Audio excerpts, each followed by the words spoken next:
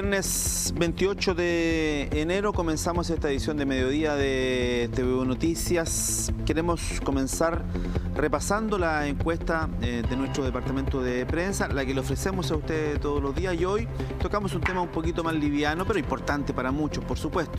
Lo que está pasando con la selección nacional tras eh, la derrota ayer frente a la selección de Argentina. Se hizo lo que se pudo un poco, siento yo, Em, se escogió un escenario muy distinto al habitual de la selección nacional en el norte de Chile pensando que se podía obtener alguna ventaja, pero ello parece que no funcionó mucho.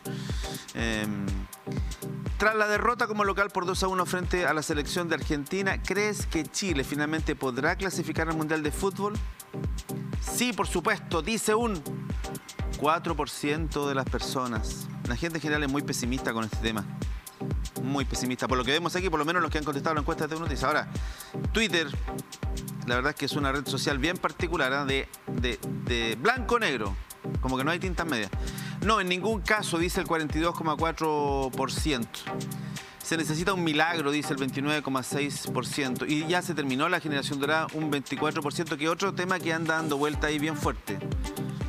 Los muchachos ya no tienen 20 eh, años, la mayoría está pasando ya los 30 años en el caso de Bravo está ya más cercano a los 40 que a los 30. Él salió lesionado eh, por algunas complicaciones en alguna de sus piernas aparentemente. Pero la edad yo creo que ahí también juega un, rol. Participe en la encuesta de TV Noticias, arroba TV Noticias en nuestra cuenta de Twitter. Lo invitamos a comentar ahí. Bien, vamos a conocer el pronóstico del tiempo. Le digo yo, mientras tanto, que a esta hora tenemos, déjeme ver un segundito, 17 grados en Concepción. Veamos.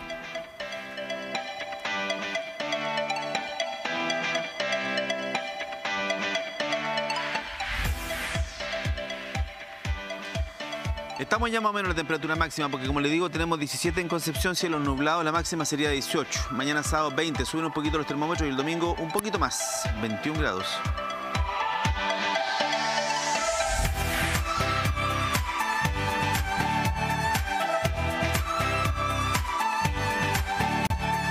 La ciudad de Los Ángeles se espera una máxima hoy día cercana a los 29 grados, mañana 28 y el domingo 24 grados. Bajaron bastante, se acabó la ola de calor y que llegó hasta los 36 grados de temperatura.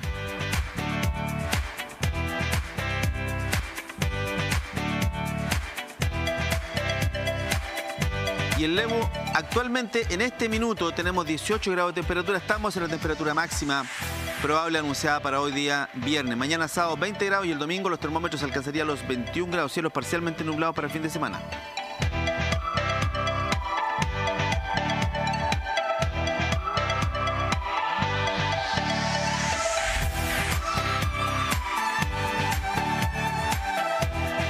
Ya vamos a estar con el informe diario de casos de COVID-19, pero le adelanto que, para variar, rompimos de nuevo el récord eh, hoy día estamos en 1900 y tanto, ayer eran 1700, hoy estamos en 1900 y tanto. En cualquier minuto sobrepasamos los 2000 casos activos. ¿En qué ha derivado esto? Con tal cantidad de casos y, por lo tanto multiplicado por tres el, número de posibles contactos estrechos, es que faltan PCR. No hay PCR suficiente para atender los requerimientos de los eh, pacientes. Veamos la nota. Eran recién pasadas las 11 de la mañana. Y esta era la situación en uno de los puntos de búsqueda activa en Concepción. No hay stock. Solo cientes habían para las personas que por diversos motivos se acercaron para confirmar si tienen COVID o no. Síntomas. Síntomas todos, malestar a la garganta en general. Más que nada porque ando bien resfriada y hace como dos semanas ya y como que no se me quiere quitar con a paso del tiempo. ¿Y no pensó en ir al CESFAM a hacerse el PCR? Sí, sí fui, pero como no pertenezco ahí... Es demasiado lento el trámite. Por ejemplo, yo lo quiero para viajar. Para viajar. Para viajar. Y lo exigen.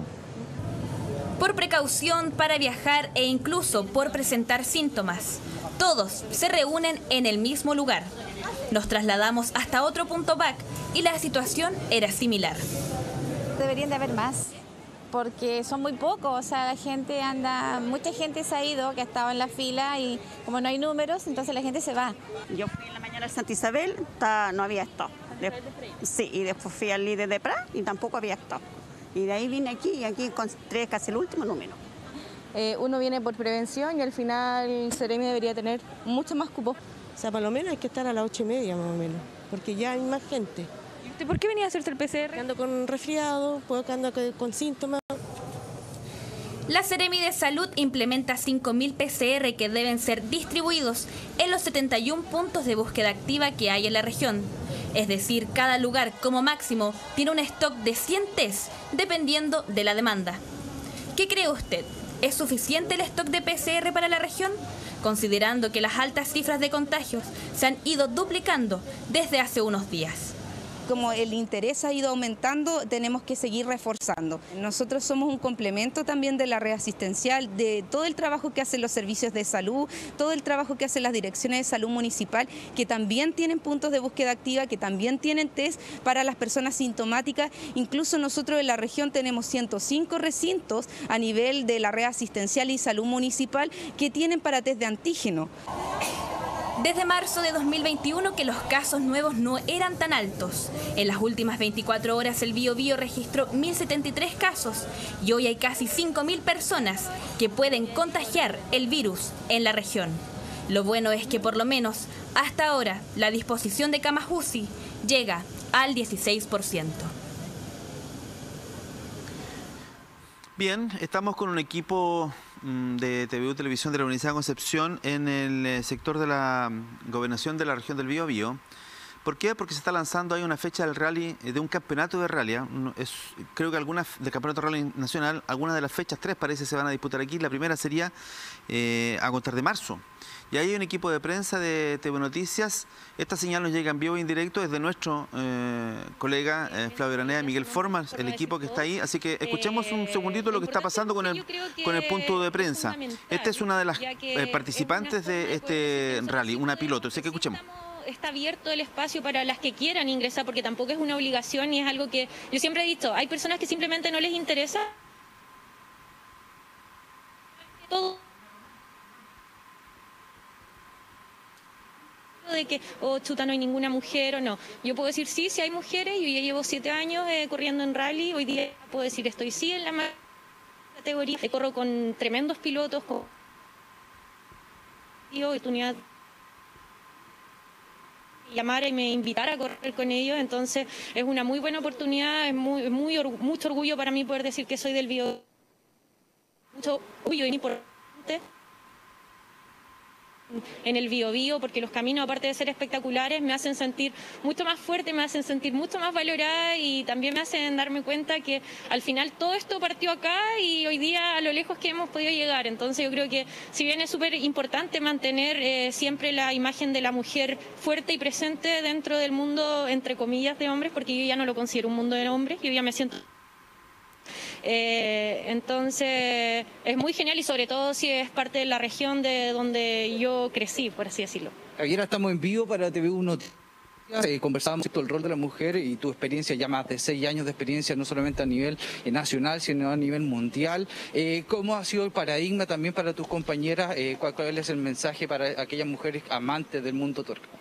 Bueno, más que nada decirles que yo sé que es difícil, que sé que de repente uno lo ve como algo imposible, sé que uno lo ve como algo que no es, no es capaz de hacer o de repente no está la opción o no está la oportunidad, pero sí se puede. Yo era una persona que no tenía ninguna oportunidad, no tenía opciones y si lo puede lograr. Yo creo que trabajo, sacrificio, incentivarlas a que pregunten, a que se acerquen, a que vayan a los rallies. Yo creo que esa es la mejor forma de poder partir en esto, más que decir, oye, dime cómo lo hiciste. No, yo creo que es involucrarse un poco más y esa es la idea de mía de poder estar y seguir presente en esto, de poder estar ahí para poder seguir involucrando más mujeres y más personas del género femenino que estén interesadas en, en formar parte del campeonato. Genial, muchas gracias Javiera, te dejamos Ahí estaba el punto de prensa, Hugo, eh, acerca del anuncio del eh, campeonato eh, de rally móvil a nivel nacional, que como bien adelantamos, a las 11 de la mañana van a tener tres fechas acá en la región del Biobío, ¿cierto? Y se van a estar por 11 comunas. Sí, estamos viendo imágenes de lo que ha sido el paso del rally por nuestra zona en distintas eh, versiones eh, anteriores y alcanzamos a escuchar muy bien lo que decía Javiera Román, que es la, que es la piloto de nuestra zona Eh, navegante, eh, navegante Hugo. Navegante, ya que es navegante de nuestra zona. Está el piloto y al lado se sienta el navegante que le va dando instrucciones para que la gente sepa en su casa que le dando instrucciones sobre cómo viene la ruta, qué sé yo. Entonces, bien, eh, con eso culmina el punto de prensa formal. Cuéntanos un poquito qué detalles se entregaron, por ejemplo, sobre cómo va a poder participar la gente. ¿La gente va a poder participar? ¿Va a haber algún evento masivo o solo, o solo a propósito de la pandemia esto se va a correr la ruta, qué sé yo, y, y no va a tener más, más atractivo para la gente que es? Nos adelantaron que el inicio ya va a ser en Concepción, el cierre también de, de estas rutas y claro, van a ser más de 200 kilómetros, van a estar, eh, la primera fecha ya se confirmó en la provincia de Biobío, faltan las otras dos, pero eh, significativamente es en realidad eh, que apuntaron un tema que es súper, súper, súper importante, que es el ecosistema. Están trabajando en generar menos impacto al ecosistema, hay un trabajo con los vecinos y vecinas de las zonas rurales, también apuntaron también el tema del emprendimiento, eh, van a albergar todo tipo de emprendimientos que eh, es donde se realicen las carreras.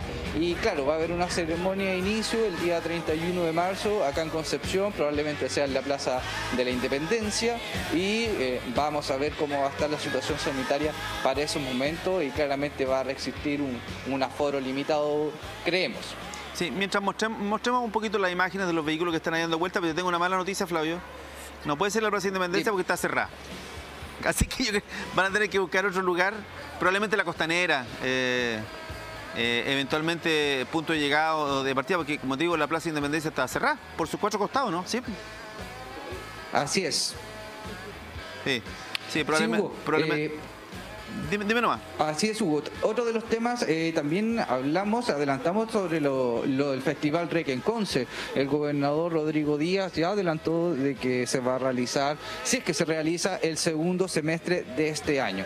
Así que eh, queda en veremos la participación de Cernatur eh, en ese evento, pero en este evento de Rally Móvil, Cernatur se hizo parte y claramente la- habló la directora subrogante sobre el hecho de que van a, incentivar el emprendimiento, van a apoyar eh, todo en este evento, eh, viendo la situación de la pandemia, claramente que ha mermado muchos trabajos, muchos emprendimientos eh, durante este tiempo. Sí, tuviste la posibilidad de conversar. Bueno, habló Rodrigo Díaz, habló Felipe Horta, ah, sé que habló Jorge Martínez, porque cuando estábamos contactando te estaba hablando Jorge Martínez. Están todos súper eh, claros, conscientes de que es un momento complejo, pero que de igual forma eh, es bueno que eh, este tipo de eventos regresen a la región del Biobío.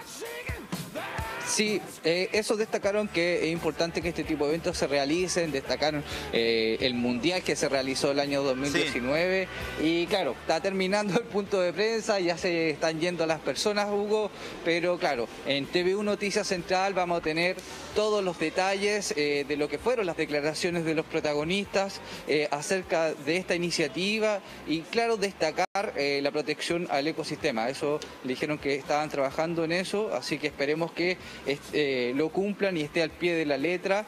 Claramente van a elegir caminos que no estén cerca de humedales, que no estén cerca de recorridos naturales o de vertientes, así que eso es lo destacable de este punto de prensa que reunió a, a la prensa regional también, colegas y también de, otros lados de redes sociales, ¿cierto? Para eh, este magno evento. Sí, en la protección del medio ambiente muy de la mano con los tiempos que estamos viviendo hoy, muy de la mano con lo que pasa en la Convención Constitucional, muy de la mano de lo que debería haber sido siempre y no siempre fue así. Eh, acuérdate del rally, el Rally París-Dakar, eh, pasando por eh, sitios eh, o monumentos nacionales en el norte de nuestro país, esas cosas ya no pueden volver a suceder. Y aquí en la zona, bueno, tenemos varios lugares hermosísimos que merecen protección. Y en ese sentido, bueno, el trazado no se dio a conocer, imagino que lo están trabajando, imaginamos que en algún minuto lo, lo tendrán que, que decir, digamos. Sí, el trazado aún no está definido, falta la confirmación eh, tanto de las autoridades sanitarias como también de las personas que viven en, en los sectores rurales, ¿cierto? Y todo ese trabajo en conjunto que se va a desarrollar los, próximos días. Está lloviendo, Flavio, ¿no? Estamos en vivo en directo con Flavio Graneda de la Gobernación. ¿Está lloviendo? Sí, está, está lloviendo cada vez eh, con más intensidad, Hugo.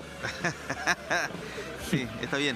Vamos a dejar el despachito hasta aquí entonces para que los colegas se, se, se protejan. ¿Quién es él? ¿Es un piloto, no? Él, él es Jorge Ramírez, no lo- piloto no lo nacional. Sí, no, no, está bien, está bien. Pregúntale, pregúntale, porque yo ¿Lo aquí veo oscuro el, el habitáculo, pero pregúntale.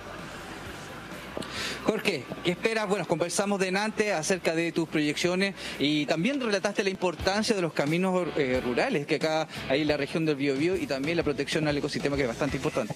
Sí, bueno, el, el Móvil está haciendo todos los esfuerzos por, cumplir con todos los temas medioambientales, está haciendo un, un esfuerzo que cumplir, sino que aportar. Eh, además, recordar que este es un evento gratuito, se hace al aire libre, eh, eh, los caminos que tiene la región, como bien lo dijiste, son, son muy privilegiados, somos muy privilegiados de poder correrlos, son de muy buena calidad, llueva o no llueva, siempre tienen un buen piso. Eh, así que nada, yo estoy muy motivado con, con la carrera, estoy motivado con que la Río se transforme en la sede principal del Copec Rally Móvil y, qué mejor, pues uno como penquista estar corriendo en casa. Ahí estaban las declaraciones, muchas gracias. Eh, nuestro representante de la región para ojalá campeonar eh, en este nuevo campeonato del Rally Móvil, que recordemos tres fechas se van a realizar acá en la región del Bío, Hugo. Sí, Jorge Martínez, uno de los eh, pilotos más destacados en la historia del rally en el país y es de aquí, de la región del Biobío. Tiene muchas posibilidades de campeonar, por es. supuesto.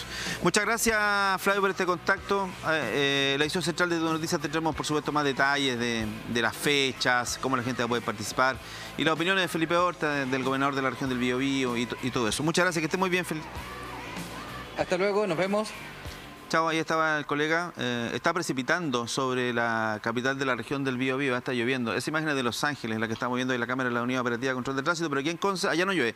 Aquí en Conce sí está eh, lloviendo. No muy fuerte, pero igual moja el agüita. Así que si va a salir de su casa, acuérdese de eso.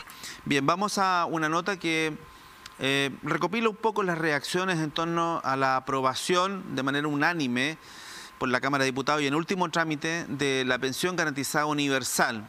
Eh, 185 mil pesos es la base de esta pensión para todos los chilenos y específicamente se beneficia al 90% eh, de los adultos mayores de 65 años más pobres, digamos.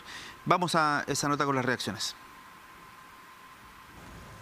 De manera unánime y después de cinco meses de discusión se aprobó el proyecto de la pensión garantizada universal, con un monto base de 185 mil pesos para todos los adultos mayores de 65 años que pertenezcan al 90% más vulnerable de la población.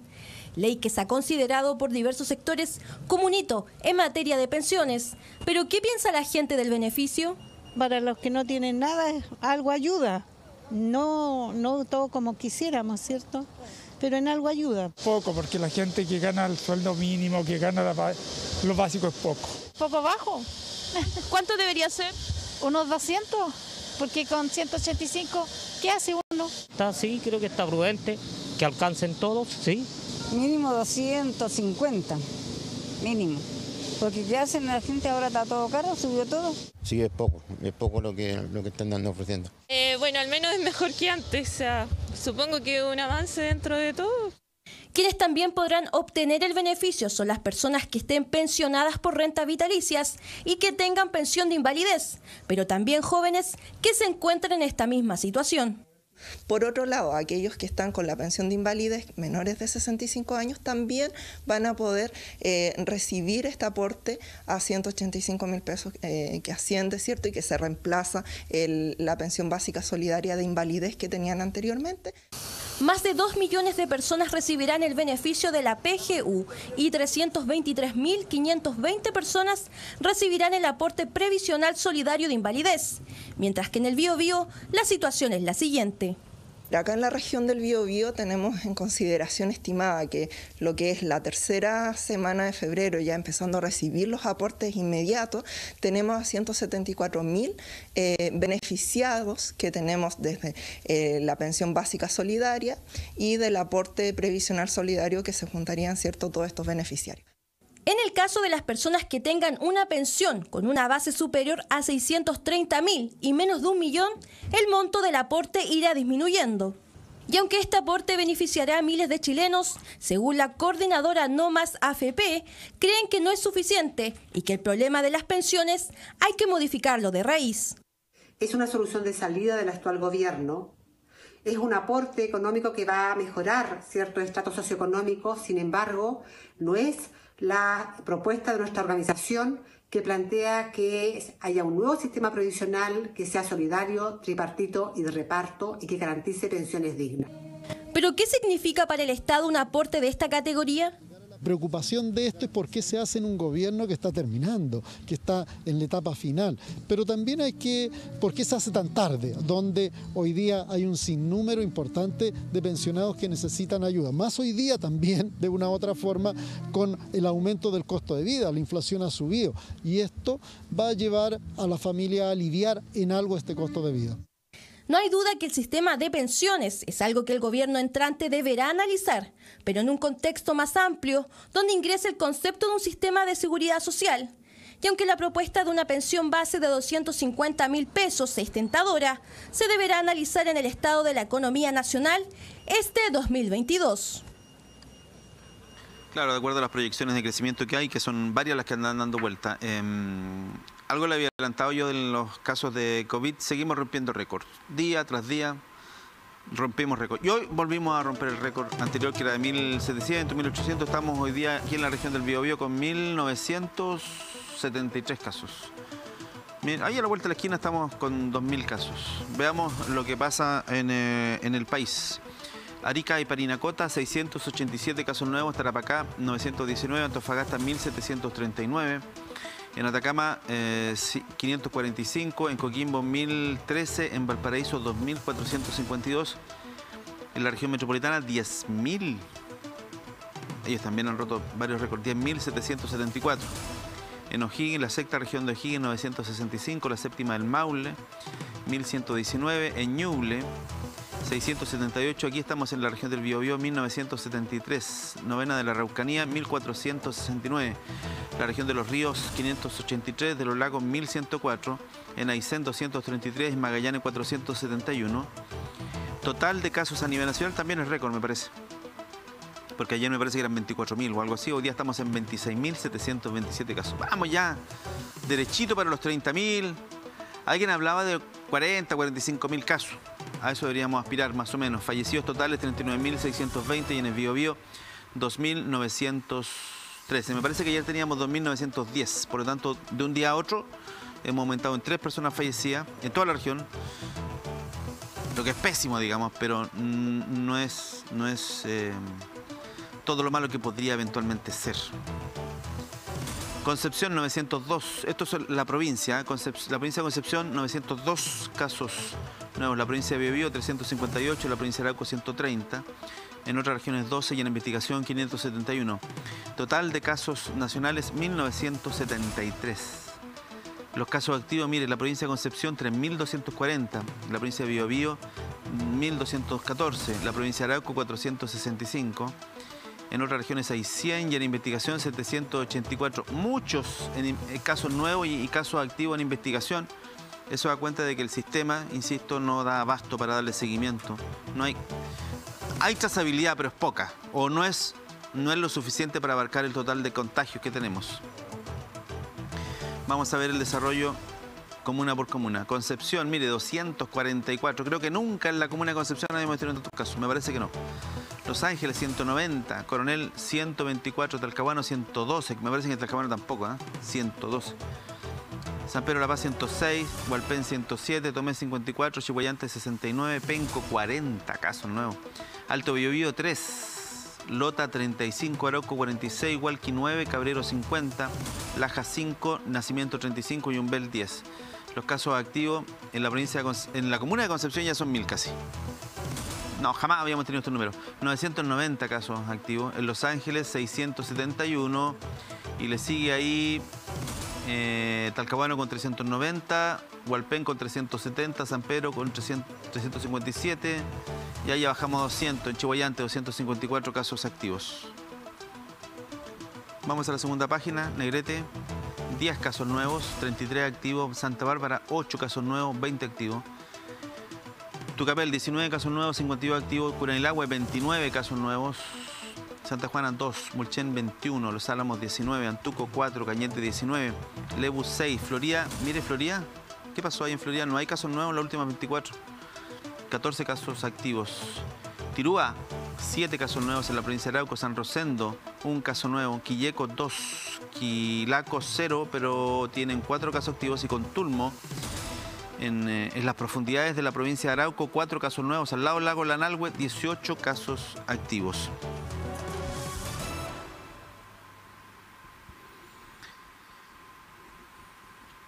Ese es el estado de la pandemia, seguimos rompiendo récords todos los días, Eh, no se asuste si mañana, si pasado mañana eh, tenemos más de 2.000 casos nuevos de coronavirus, deberíamos asustarnos harto con el tema de la ocupación de camas.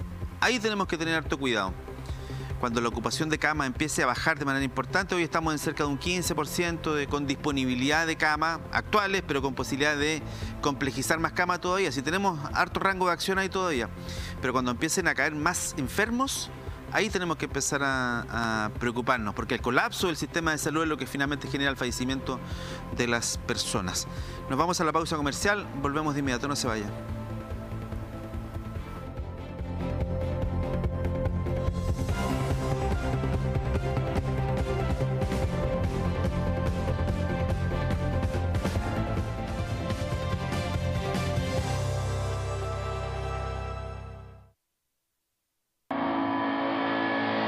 La educación en general es capaz de hacer muchos cambios en la sociedad. Mi carrera tiene un vínculo muy estrecho con la naturaleza.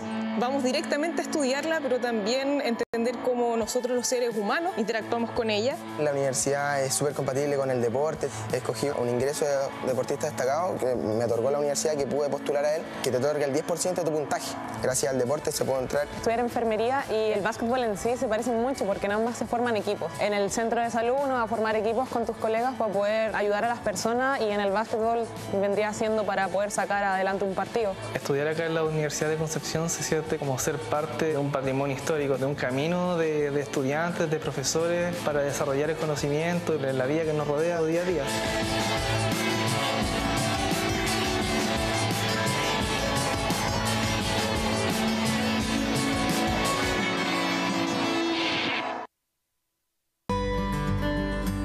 Yo pude emprender y ser el mejor.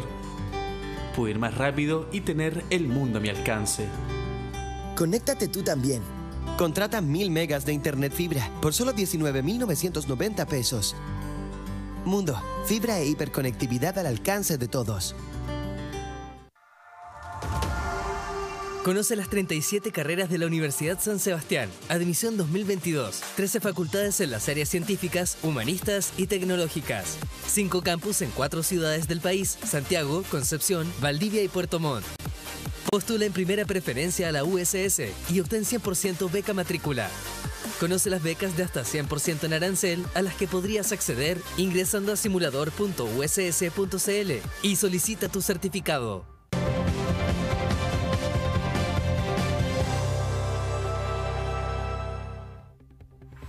Bien, vamos a repasar algunas intervenciones del eh, programa Mensaje Directo que va después de la edición central de TV Noticias. Nuestro colega Javier Monsalves ayer habló sobre pandemia, salud mental y trabajo en particular. Conversamos con la Seremía del Trabajo, y pero también hablamos con el eh, psicólogo don Camilo Aguilera. Así que vamos a escuchar lo que dijo para Mensaje Directo don Camilo Aguilera. Y no se trata solamente de, de, tomar vacaciones. Según los estudios en salud mental, es muy necesario que esas vacaciones el, el, ojalá sean de corrido al menos unas tres semanas. Al menos unas tres semanas para poder desconectarse realmente de lo que es el, la rutina del trabajo, para poder realmente tener un recambio de energías. Porque si es una semana o dos semanas, no se logra el, a nivel de salud mental, no se logra el, desconectarse real. Y ahí yo creo que hay un tema importante, porque muchas veces los, los jefes, los empleadores, eh, están eh, como moviendo mucho eso, como no quieren quedarse con nadie, así que dicen, por favor, tómate una semana después, después el otro mes te tomáis la otra semana, y el otro mes te tomáis otra semana. Y la verdad es que eso es como priorizar eh, muchas veces el, el, sistema de trabajo y no al trabajador en su salud mental. Se ve como flojo el trabajador que quiera tomarse sus 30, o sea, su, su, su, sus 20 días se, se, lo ve a veces como mal, se lo ve como que, que, no, que no debería, que como, como demasiado.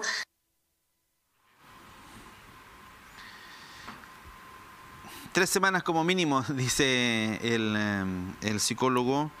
Eh, hay algunos proyectos de ley eh, bueno, hay dos, dos cosas que andan dando vuelta. Uno, está la idea del presidente electo Boric de bajar de 45 horas semanales a 40 horas semanales las horas de trabajo de las personas. Y hay otro, otra iniciativa, eh, que yo no sé en qué trámite está, pero la idea, claro, es aumentar de 3 a 4 semanas las vacaciones que la gente pueda hacer en sus casas de vacaciones. Hay que ver cómo avanzan eso. Es de las 45, de 45 a 40 tiene más eh, más, más camino abierto, digamos, porque en general hay, hay consenso en eso. Vamos ahora a establecer un contacto con la colega Constanza Torres. Vamos a, mm, hablar con ella. Ella nos va a contar sobre el antivirus. Como usted sabe, en el verano eh, hay limpiezas de cabañas, la gente va a estas cabañas y se hace necesario eh, emitir una serie de recomendaciones para que bajen las posibilidades de contagio con. El antivirus tiene una mortalidad de 50% más o menos. Si hay 10 personas a las que le dan virus, 5 mueren. Entonces es un asunto muy, muy complicado. Veamos el despacho de la colega Constanza mm, Torres. Adelante, Connie, te estamos escuchando.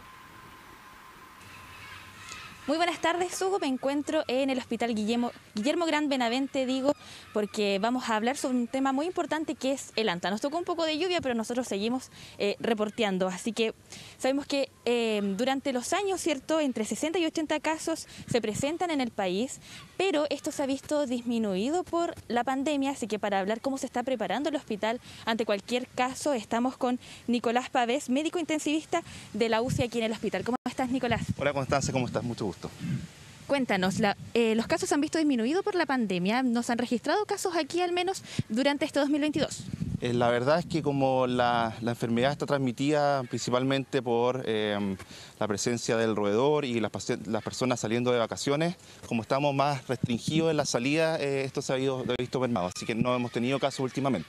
Pero de todas formas ustedes están preparados, tienen equipo especial para cualquier eh, tipo de situaciones como esta. Es esperable de que con el aumento de la salida, de las vacaciones, de las personas saliendo a acampar, a caminar, disfrutando los días libres y los días bonitos que nos otorga el país, probablemente aumente el número de casos y para eso nuestro hospital está preparado para esas condiciones. ¿Qué equipo tienen ustedes que puedan comentar? Yo sé que es equipo ECMO, pero que tú puedas em, explicar mejor para que las personas entiendan en su casa. Sí, en, general esa es como una última etapa de tratamiento, eh, principalmente el, el, virus, el ANTA, lo que provoca inicialmente es como una gripe inicial, pero algunas de estas personas desarrollan una enfermedad inflamatoria que falla tanto el pulmón como el corazón. Inicialmente esto se puede manejar con ventilación mecánica y con fármacos que mantienen la presión, sin embargo hay unos que desarrollan una falla catastrófica del pulmón y el corazón y esos pacientes que tienen una alta mortalidad probablemente todos fallecerían si no tuvieran este, este control. Y lo que hacemos es un aparato de circulación extracorpórea, que en resumen es sacar sangre del cuerpo, oxigenarla y volverla a bombear a presión. Así que entenderás que es algo que es bastante Em, bien catastrófico, es un evento, una situación muy complicada, pero están eh, estos equipos que permiten al menos eh, sostener al paciente hasta que la enfermedad viral disminuye y así podamos eh, recuperar la, salud de cada una de las personas. Tú comentabas que los síntomas son parecidos a la gripe, son la tos, fiebre, dolor muscular. Ya en casos más extremos podrían ser em, por temas respiratorios. Pero ¿cómo uno puede, las personas pueden darse cuenta de que es un caso de ANTA y no, por ejemplo, por COVID o una gripe común. Perfecto. En general, lo que se tiene que asociar es el, contexto epidemiológico. Es muy importante, o sea, si nosotros ahora tenemos eh, fiebre, dolor de muscular, estaríamos pensando en COVID necesariamente. Estamos en una zona urbana donde no hay ratones. Lo que sí es que asociar es personas que se asocian a camping, a personas que no ventilan los lugares donde se van a acampar, por ejemplo, o personas que están asociadas a faenas agrícolas, o tal vez después de algunas eh, diluvios o inundaciones donde hay un movimiento de ratones y eso podría aumentar la, disponibilidad del virus en el ambiente. Eh, cuando eso no está presente dentro de la historia clínica, uno debe como eh, no pensar mucho en ANTA, sino como sospecharlo.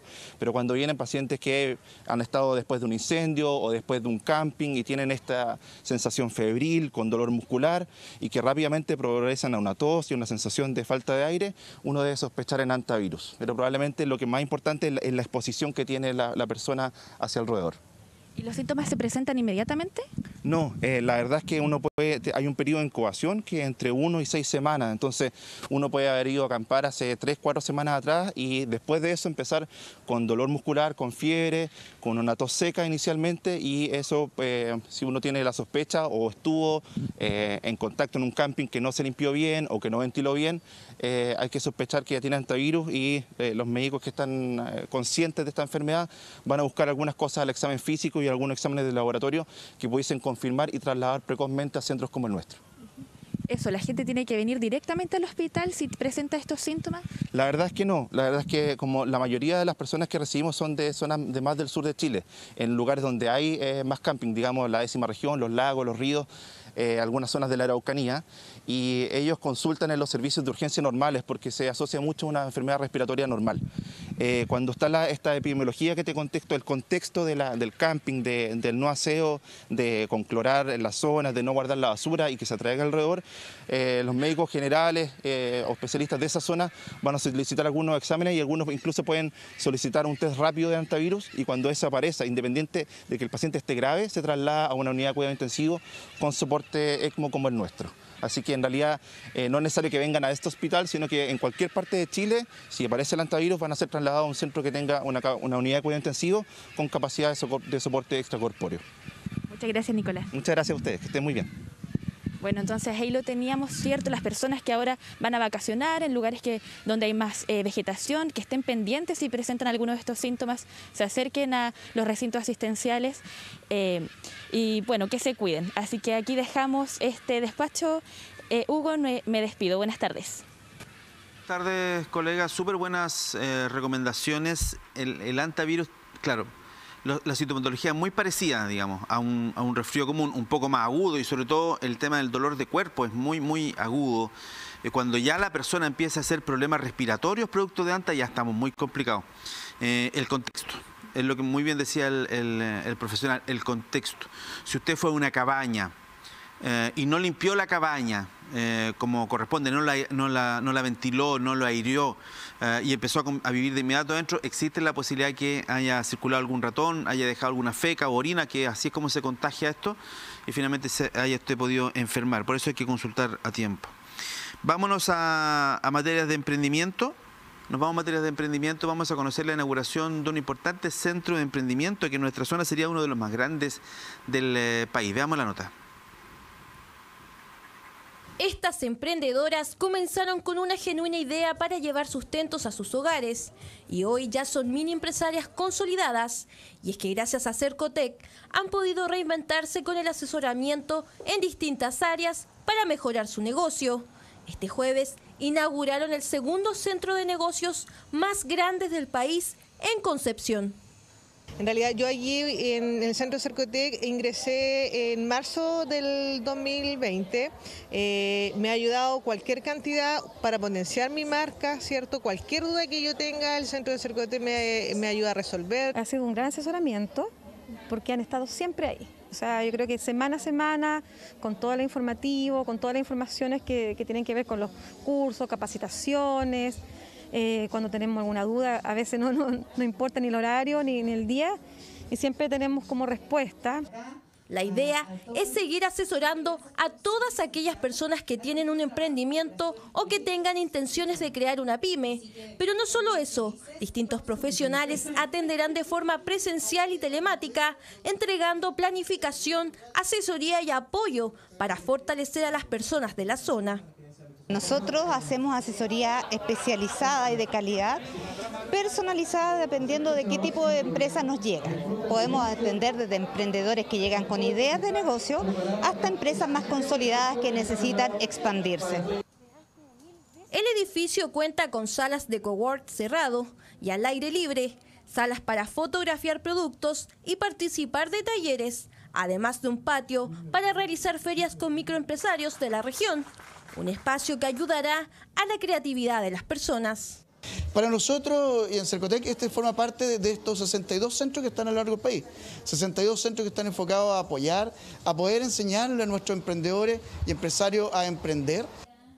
La oportunidad es 100% gratuita, con un equipo con diversos profesionales para marcar la diferencia de estos emprendedores y sus productos.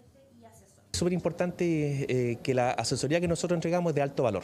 Eso quiere decir que hay profesionales con experiencia eh, en el desarrollo de negocios, en la conceptualización de, de, de, estos modelos de negocios que le puede orientar a cada uno de ellos para que pueda eh, desarrollar su idea o su negocio una oportunidad que busca potenciar los negocios propios, llevando 300 asesorados hasta la fecha, pero la meta para Cercotec es llegar a mil emprendedores. Así que ya lo sabe, si tiene una idea de negocio, no dude en pedir asesoramiento y crecer con su trabajo. El, gobernador de la región del Biobío, Rodrigo Díaz, se ha plantado una meta en materia medioambiental, convertir a nuestra zona en la región que más recicla del país. Y para ello ha instalado una mesa, se ha reunido con distintos eh, gremios, eh, autoridades representantes de distintas organizaciones para empujar esta meta. Reitero, convertir a la región del Biobío en una de las que más recicla a nivel nacional. Veamos la nota. Son 14.500 empresas en Chile las que generan más de 2 millones de toneladas al año de envases de plástico, vidrio, neumáticos, cartón, metales y cartones para bebidas. Hoy apenas el 12% de estos residuos se reciclan, pero eso comenzará a cambiar desde este año. En septiembre, las empresas deberán informar al Ministerio de Medio Ambiente quién recogerá sus envases y embalajes. A raíz de esto, se conformó una mesa de trabajo en el BioBio para ver las potencialidades en materia de reciclaje. Bueno, qué duda cabe que tenemos un desafío en el cambio climático. El cambio climático nos impulsa a que busquemos metodologías colaborativas para poder eh, resolver este problema que afecta a toda la especie humana. Y por eso es que eh, una de las medidas que queremos implementar es transformarnos, como usted dice, en líderes en materia de reciclaje en la región. La ley de responsabilidad extendida del productor promueve la disminución en la producción de residuos y fomento del reciclaje. Para ello, la ley responsabiliza a los productores e importadores a financiar una correcta gestión de los residuos que generan los productos. Así surge Resimple, entidad creada al alero de la Asociación de Alimentos y Bebidas, que agrupa a 25 grandes empresas de distintos rubros. Y efectivamente se tienen que eh, juntar en una cosa que se llama sistema de gestión colectivo que permita financiar y organizar la gestión de los residuos, es decir, para que finalmente se recolecte y se recicle los residuos de las casas. Este sistema de gestión va a contemplar todo Chile, es decir, eh, tiene un ámbito desde Arica Punta Arenas, pasando por todas las islas que nosotros tenemos. El gobierno regional busca implementar un programa piloto para ver los barrios más densos, para llegar con educación a la comunidad. La idea ahora es poder implementar efectivamente, como bien mencionó el gobernador, un programa, un piloto. Tenemos que escoger las comunas, tenemos que revisar y estudiar, por ejemplo, dónde están los barrios más densos para poder iniciar este, este pilotaje en, en, una primera instancia, para después poder eh, de alguna forma ver cómo lo implementamos en el resto de la región. Para las organizaciones que ya trabajan en el reciclaje y los centros de investigación es un paso importante en materia de responsabilidad con los residuos que generan tanto empresas como la ciudadanía. Esta ley REP, ¿cierto? Que obliga a los productores a hacerse cargo de algunos productos, ¿ya? como por ejemplo envases, como por ejemplo neumáticos y otros cuatro más, nos parece que es una oportunidad una oportunidad grande para reconvertir nuestro sistema productivo y hacer frente a algo que nos preocupa a todos, que es la producción, la generación masiva de basura. No es algo indispensable, es decir, el tema de la implementación de la ley 20.920 del IREP se viene. Y ese es un cambio que a nivel país lo vamos a notar mucho, porque va a cambiar ese paradigma de que hasta ahora recicla quien quiere, a recicla quien lo, quien lo tiene que hacer, ¿no? Y quien lo produce, quien mete ese tipo de residuo en el sistema, se va a tener que hacer cargo. Por tanto, nosotros como gestores igual va a ser un cambio para nosotros máximo, es decir, el, el tener que ir convenciendo a quien, a quien genera este residuo para reciclarlo, oye, no lo lleves a vertedero, busquemos una solución efectiva, ahora ya va a cambiar. De esta manera cambia el marco regulatorio con respecto al reciclaje, un tema que parecía sin solución, pero que ahora las empresas deberán asumir su responsabilidad y generar también una cultura en la ciudadanía en torno al tema. Es un bonito desafío es realmente un bonito desafío que la región del Biobío fuera ejemplo a nivel eh, nacional. Ya hay unas comunas acá en nuestra zona, como la Santa Juana, por ejemplo, que lo está haciendo muy bien, podríamos copiarle. Revisemos algunos titulares de los medios de la Universidad de Concepción. Comenzamos con eh, noticias.udec.cl. Aquí está en pantalla. La Pichintún, panorama familiar, dinosauria gigante, revive en el campus UDEC para presentar obra Teatro a Mil. La obra gratuita es este sábado 29 de enero a las 12 horas, mañana a las 12 horas en el Polideportivo de la Universidad. Sí, ahí está. Ya. Dice, eh, Psicología distinguió a su generación 2020 en el Teatro de la Universidad de Concepción, tituló a 50 nuevos profesionales. Felicidades para todos los nuevos profesionales de la Universidad de Concepción que se titulan estas ceremonias que están volviendo, ¿ah? Están volviendo con aforos limitados y todo, pero bueno, tenemos que acostumbrarnos a vivir con esta cosa. UDEC inicia implementación de segundo acuerdo de producción limpia en educación superior. Ahí está la fotografía que retrata el encuentro donde se lanzó también esa iniciativa. Apoyo a 6.000 emprendedores y creación de 150 empresas. El legado de Incuba UDEC en sus 20 años de vida. ¿20 años ya? Incuba UDEC y cómo ha crecido esa iniciativa que yo me acuerdo, partió muy tímidamente, como con pequeña asesoría, pero, pero luego se afirmó porque el emprendimiento es un tema aquí importante en la región del Biobío. Sigamos revisando otros titulares de los medios de la Universidad de Concepción. Tenemos TVU. Claro, los colegas ya no hablan de récord. No tiene sentido. Eh, todos los días tenemos récord. Pues entonces, cuando una noticia ocurre todos los días, ya deja de ser noticia. Bio se acerca a los 2.000 casos. Yo creo que ese es efectivamente la chuntana y ese es el perfil de la nota, que vamos a superar los 2.000 casos de COVID-19. También tenemos récord en Chile, 26.000 casos de COVID en un solo día. Insisto, el anterior había sido como de 24.000, me parece. Cercotec inaugura en Concepción su segundo centro de negocio más grande del país. ¿Se acuerda que le dije que era muy grande?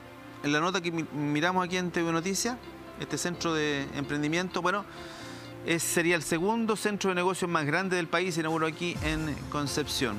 Tiene sala co-work y todas esas cosas que tienen habitualmente los emprendimientos, donde se juntan, se reúnen, eh, pueden proyectar negocios nuevos, qué sé yo. Congreso aprueba proyecto para prorrogar la vigencia de la licencia de conducir hasta el año 2023. También se lo había comentado, yo me parece que ayer, en nuestra sección Hoy en Pauta de la edición matinal de TV Noticias. El Congreso iba a resolver el tema de si ampliar la vigencia de las licencias de conducir que vencían este año. Hay muchísima gente que tiene sus licencias vencidas. ¿Por qué? Porque cuando van a pedir eh, que se les prorrogue la licencia en los municipios, como hay tal colapso por medidas de aforo, por ejemplo, no pueden atender a la misma cantidad de personas que atendían antes, por lo tanto atienden a menos. Al atender a menos hay un arrastre importante y eso ha generado que muchísimos estén circulando sin licencia, pero ahora se aprueban, se renuevan hasta el 2023. Misma fecha del año 2023 son habitualmente los cumpleaños. ¿ah? Habitualmente en la fecha de cumpleaños vencen las licencias de conducir. IFE laboral, ¿cuándo pagan las postulaciones de diciembre? Bajemos la comunidad del contenido, muchachos, a ver si tenemos algo nuevo para contarle a la gente. ¿Por qué el K-pop sigue marcando tendencia en plataformas de streaming? Musicólogo explica. El musicólogo es nuestro amigo Mascariano, ¿cierto? Nicolás Mascarán supongo que será el musicólogo, sí, sí. Lo conocemos hace algunos años ya. ¿Y por qué el K-pop sigue marcando tendencia en plataforma? No tengo idea. Yo no encuentro ni una gracia. Pero bueno, ese, eso es personal. Fonoaudiología UBB, una carrera con modelo de intervención comunitaria. Eso es en la Universidad del Bio Bio. Iniciativa Popular de Norma busca darle respeto y dignidad a los bomberos. Otra iniciativa que, que también hay que apoyar, creo yo. ¿eh? Desafío Conexión CMPC, los testimonios tras aplicar la teoría para resolver un problema real y Distrito Diagonal ofrece una variada opción de talleres para aprender arte y manualidades. Se destaca en tvu.cl y en la sección, subsección, la comunidad del contenido. Vamos a otros medios. Tenemos Diario Concepción aquí. Aquí estamos con el nuevo récord de casos activos. Hoy presenta 5.803 casos activos. Nunca, jamás hayamos tenido tal número de casos activos. No son los casos diarios esto, ¿ah? Los casos activos son los acumulados de las últimas 24 horas. Lo que pasa es que cuando usted está positivo de coronavirus hay un número determinado de días en que está activo. Vale decir que puede contagiar. Eh, y después se mejora y, y se termina todo. Son 5.000 personas, 5.000, casi 6.000 personas las que están en esa condición. Es muchísimo. Dice, sigue alza, Chile sigue al alza y supera los 26.000 nuevos casos de COVID. Salud fortalecerá con test de antígeno alta demanda por PCR. Si el test de antígeno es eh, más rápido, no es el test de PCR que es el nasofaringio, digamos, eh, sino que el test de antígeno es mucho más rápido, está en un par de horas, pero no tiene la certeza del test de PCR. Lo que hace el test de antígeno detecta si usted eh, tiene posibilidad de tener coronavirus. Y después de eso podría hacerse coronavirus, podría hacerse el test de PCR. Pero también descarta ah, rápidamente. Es muy certero a la hora de descartar. Si usted no tiene coronavirus, el test de antígeno le va a decir al tiro que no tiene coronavirus. Ahí está, entonces con eso podrían fortalecer eh, eh, los test de PCR que ya claramente no alcanzan. Con esta cantidad de contagios que tenemos todos los días, sencillamente no alcanzan. El sueño internacional Auricielo vive un nuevo acto en Buenos Aires. Están allá los muchachos, parece. Están allá en este minuto. Los del básquet UDEC. Que les vaya muy bien. IFE laboral, ¿hasta cuándo puedo postular y cuándo serán los pagos? ¿Qué más tiene Diario Concepción? ¿Tiene algo más abajo, no? En política, por ejemplo, siguen conversaciones para definir gabinete regional de Gabriel Boric. Hartos tira y afloja, ya hemos sabido. Hemos sabido de hartos tira y afloja para, para definir el eh, gabinete de Gabriel Boric. ¿Qué más? Bien, vamos a. Vamos a ve- veamos la, la fotografía principal del diario Concepción, a ver cómo tenemos diario papel digital. Agrandémosla, a ver. Hace rato que no vemos la portada del diario. Dice Incuba UD cumple 20 años, ya lo mencionamos. Eh, Basket UDEC también lo mencionamos. Mire, avanza propuesta para poner fin a las zonas de sacrificio. Se tramitará como iniciativa norma constitucional. Sí. Esa es una iniciativa eh, popular que presentó, entiendo, presentó la municipalidad de Coronel. La idea es terminar con las zonas de sacrificio. Moción logró reunir ya las 15.000 firmas necesarias para ser presentada a la Convención Constitucional. Bajemos un poquito, la fotografía dice eh, Casa del Arte, nuevo vínculo de, ah, de la actividad cultural de la Universidad de Concepción con la comunidad. Los test de antígenos ya lo vimos. En bonito opinión, veamos el bonito opinión. Hay que mostrar el trabajo de los colegas. Dice, alzan arriendos a universitarios. Ahora me bajaron las ganas de seguir en clase online. Sí, lo que pasa es que, eh, y también lo habíamos comentado, eh, ten- tenemos, bueno, en general, en todas las ciudades universitarias, pasa aquí, en eh, Concepción, en los alrededores de la Universidad de Concepción y en los alrededores en general de las casas de estudio. También pasa en la Universidad del Biobío, en la Católica. En los alrededores hay muchas personas que arriendan parte de sus domicilios para los universitarios, ¿ah? porque hay mucha gente que viene de afuera, del sur, del norte, a estudiar. Entonces, eh, han estado dos años estas personas sin eh, poder arrendar sus hogares, porque los, los chicos no han venido, porque están todos con clase online, pero en marzo vuelve, entonces los chicos están volviendo a arrendar y se han encontrado con precios muy altos, muy altos. ¿Por qué? Habría que preguntarle a los que arriendan, pero, pero es evidente que quieren recuperar algo de los dos años perdidos en estos con clases online. Eso es lo que, con eso están encontrando los, los estudiantes universitarios, que están en proceso de matrícula ¿eh? todavía. Aquí en la Universidad Concepción ya más de 4.000 y tantos alumnos ya se han matriculado. Tenemos Radio Universidad de Concepción 95.1, www.radioudec.cl. Cercotec inaugura centro de negocios más grande de regiones en Concepción, ya se lo contamos.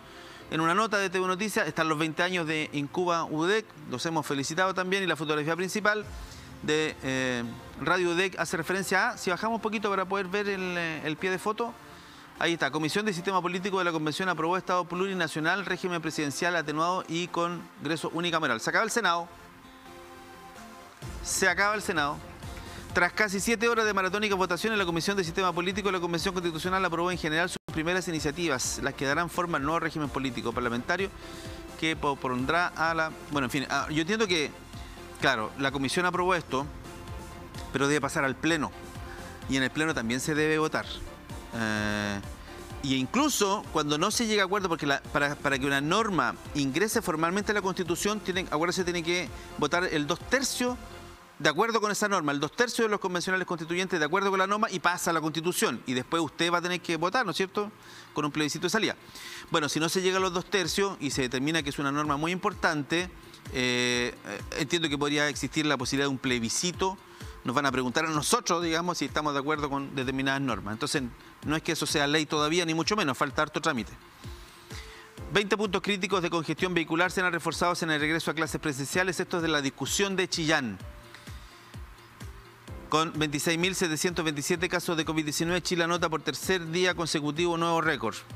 Y no se extrañe que mañana o pasado mañana tengamos otra vez récord. El lunes baja, pero los jueves aumenta, ya lo sabe. 678 contagios COVID, un nuevo fallecido en Ñuble. Buscan declarar parte del casco histórico de Chillán como zona típica.